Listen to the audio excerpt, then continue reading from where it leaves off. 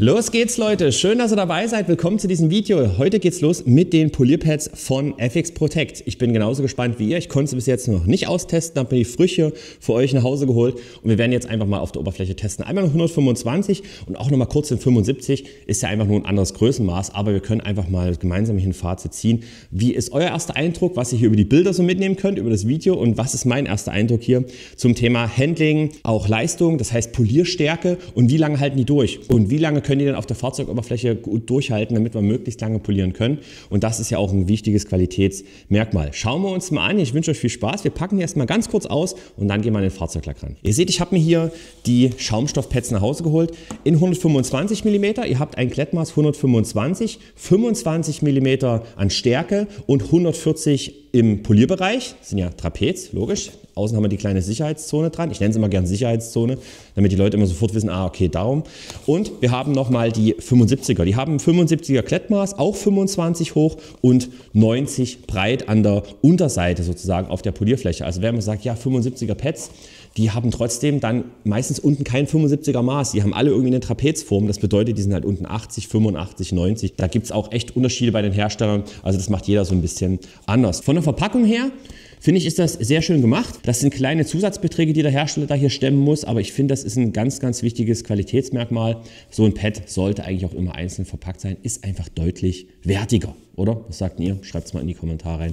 Hier so ein kleines Sichtfenster, finde ich auch cool gemacht. Also es wirkt sehr hochwertig und das ist ein ganz, ganz wichtiger Punkt, weil das Auge poliert mit. Auf der Rückseite haben wir eine schöne große Tabelle. Da sehen wir hier die verschiedenen Pads, auch nochmal hier Cutting Level, Finish Level, dann hier auch nochmal eine Materialeinteilung und wir haben auch nochmal eine Größeneinteilung. Es gibt nämlich auch noch 150er Pads, die sind dann 150 im Klett, 165 und auch wieder 25. Ihr habt auch hier die verschiedenen Cutting und Finish Level, also da könnt ihr euch genau anschauen, welches Pad was macht. Ihr lest hier oben auch nochmal Mikrofaser Hybrid Pad. Das habe ich jetzt hier noch nicht. Wir schauen uns erstmal die Schaumstoffvarianten an. Was mir sofort beim Auspacken auch schon aufgefallen ist, von der Verarbeitung Verarbeitung her ist das in Ordnung.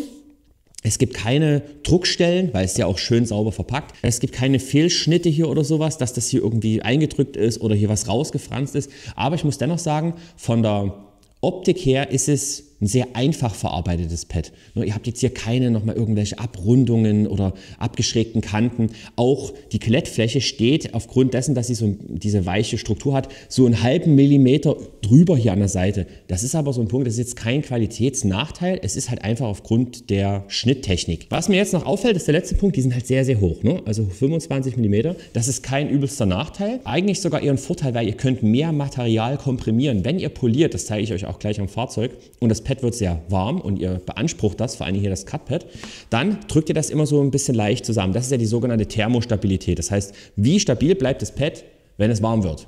Nicht heiß und kocht, sondern wenn es warm wird. Bitte nicht kochen die Pads, also wenn die qualmen, ist zu viel. Und wenn du da von vornherein schon ein relativ schmales Pad hast und das dann durch die Wärme sehr schnell weich wird, drückt ihr schon gefühlt den Klett von der Poliermaschine durchs Pad durch auf die Oberfläche. Und da ist eigentlich ein etwas dickeres Pad gar nicht mal so ein riesen Nachteil. Und jetzt haben wir uns echt genug angeschaut, ihr seid komplett informiert. Jetzt gehen wir mal kurz ans Fahrzeug rein. Kurzer Poliereindruck jetzt von meiner Seite aus. So, ihr seht da heute mal gleich direkt unser Problemfeld. Wir hatten ja hier auf der Heckklappe auch verschiedene Sachen getestet und ich habe hier massive Wasserflecken auch drauf. Also ihr seht, die sind richtig festgebrannt. Wir können auch nochmal hier kurz mit der Kamera rübergehen. Denn da können wir auch später nochmal einen Wasserfleckenentferner-Test machen. Ihr seht hier, die sind ultra fest drin hier. Kannst du voll vergessen hier. Das kriegst du nicht wieder raus, einfach so. Also entweder polieren oder mit einem Wasserfleckenentferner. Und das schauen wir uns mal in den nächsten Videos an. Und deswegen gehen wir hier nur auf die linke Seite für den Pad-Test. Ihr seht bei der Performance Plate schaut es hier so 3-4 mm drüber raus, ist überhaupt kein Problem. Euch ist sicherlich auch jetzt gleich direkt was aufgefallen und zwar als ich das Pad auf die Maschine raufgemacht habe und festgeklopft habe oder festgedrückt habe, kam Staub aus dem Pad raus. Und das sind so kleine Schaumstoffrückstände, die aussehen wie Staub, aber ich habe das nochmal genauer analysiert. Das ist bei allen Pads so, dass hier irgendwie Rückstände vom Schneidprozess übrig geblieben sind. Also da muss FX Protect auf jeden Fall nochmal nachbessern. Aber wenn ihr euch jetzt wundert, wenn ich die Pads hier direkt auf die Fläche setze, das ist nicht die Politur, die staubt, sondern das sind ja kleine Schaumstoffpartikel hier aus dem Pad. Mehr dazu nochmal im Fazit. Ihr könnt Punkte machen, ihr könnt Schleier machen, ihr könnt die Punkte auch hier direkt verwischen, dass sich das ein bisschen im Pad direkt verteilt. Wie ihr das machen wollt, ist komplett euch überlassen. So, der Rest verteilt sich und schon haben wir null Kontakt mit der Politur, wischen hier oben den Kopf richtig schön ab und damit gehen wir jetzt mal auf die Oberfläche drauf. So, und hier sehen wir auch gleich nochmal dieses Staubthema. Seht ihr, bevor ich überhaupt lospoliere, hast du schon diesen kleinen Staub drauf. Und das äh, war wirklich nicht schön. Also das muss das Team auf jeden Fall verbessern. Ansonsten habe ich erstmal getestet, wie gut das Pad so gleitet beim Verteilen mit wenig Geschwindigkeit. Das hat echt gut geklappt. Und auch jetzt hier bei höheren Geschwindigkeiten lief die Maschine zusammen mit dem Pad, aufgrund auch, dass das so ein bisschen dicker ist, wirklich sehr, sehr schön. Das hat mir wirklich gut gefallen. Und hier, das lief auch super ruhig. Also so vom Handling her, wenn dieses Staubthema jetzt nicht wäre, da muss ich echt sagen, sehr, sehr zufrieden bisher, aber Langzeittest folgt auf jeden Fall. Aber hier vom Cut-Level habe ich auch schon durch die Politorrückstände gesehen, dass die Kratzer wirklich sehr, sehr schön weggehen und auch dieser Streifen, der jetzt noch original war dort in der Mitte, um den geht es ja hauptsächlich, das ist auch richtig gut weggegangen. Das sehen wir jetzt auch gleich nochmal im Anschluss. Also sehr, sehr schön, muss ich echt sagen. Hat eine richtig schöne Leistung gezeigt, hat auch wirklich sehr schnell viel Wärme aufgebaut. Das hat mir auch sehr gut gefallen. Und man merkt auch hier, ist noch gut Wärme drin. Also von der Polierleistung, von der Qualität, wie schnell das Pad auf Temperatur kommt und wie viel Leistung hier übertragen wird, das hat mir wirklich sehr gut gefallen. Und man sieht, wir haben einen leichten Schleier drin, aber ich finde den absolut in Ordnung. Und ich muss sagen, vom Cut-Level her, Audace und jetzt speziell auch mit dem FX Protect Pad hier am Klebeband ist natürlich ein bisschen sanfter gewesen. Da nehme ich den Druck auch wirklich raus, aber das war wirklich sehr, sehr effektiv, diese kurze Runde. Ne? Dann machen wir uns hier das Finish Pad drauf, schnappen uns die Fiero, super Refinishing und dann gucken wir uns mal an, ob wir hier den Glanz auch noch wieder zurückbringen können. So, jetzt im Anschluss noch mit dem grauen Pad und der Fiero hier über die Oberfläche im Finish-Level. Das hat wirklich gut funktioniert auf diesem Unischwarz. Außer auch hier bei dem Pad diese Staubbildung. Aber ich denke mal, das wird FX Protect noch in den Griff bekommen. Dazu dann mehr im Fazit nochmal. Das ist mit Klebeband immer deutlich nerviger, aber das ist jetzt speziell für die Videos. Ihr klebt euch hier dann keine so eine Abtrennung. Wir nehmen das jetzt auch komplett runter, weil ich glaube, das sieht einfach spitze aus schon. Und jetzt können wir auch hier über alles nochmal rübergehen. So. Und jetzt gucken wir uns mal an, wie gut das hier auf diesem Unischwarz schon funktioniert hat. Ich glaube, man kann es so schon erkennen, ne? also ohne dass jetzt das Licht darüber geht. Hier diese Schleier drin vom Polieren. Auch nochmal hier schön, da haben wir gar nicht poliert. Ne?